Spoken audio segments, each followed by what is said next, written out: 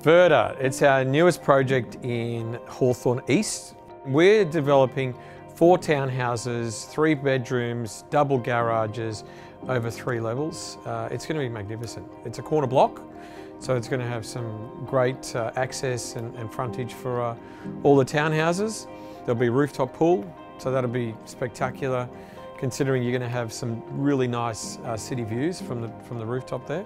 And the street, beautiful tree lined street, lovely canopy, and it, it's going to provide beautiful shade and uh, outlook for these townhouses.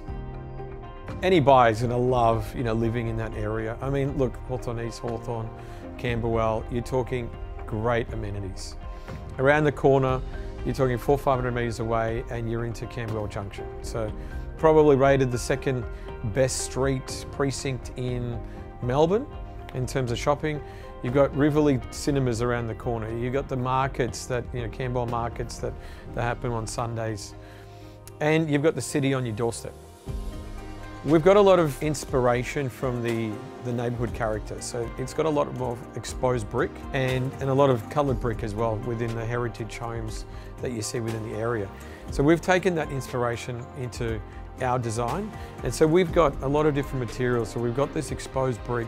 Instead of just doing your, your standard screens, you know, for the windows and, and things of that nature, we've got this brickwork that's actually going to act as the screens. Then on top of that, the entryway. We're thinking, how can we actually design an entryway to these townhouses that'll be a little bit different to everything else that you see in the area or you've seen in with our developments in the past.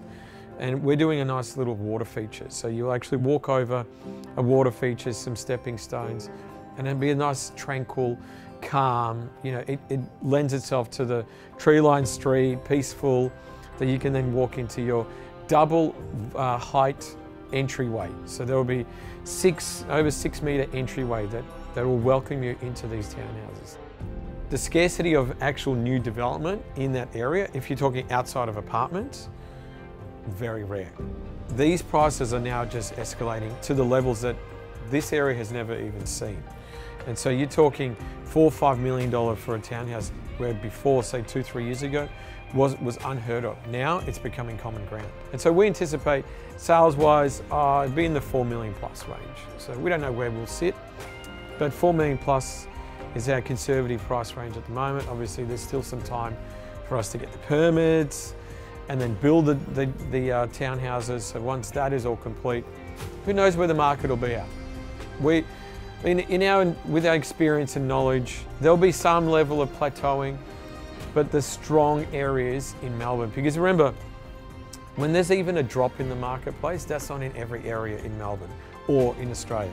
It's in pockets, right? So we've identified that this pocket is going to have a strong growth because there is so much demand in that area.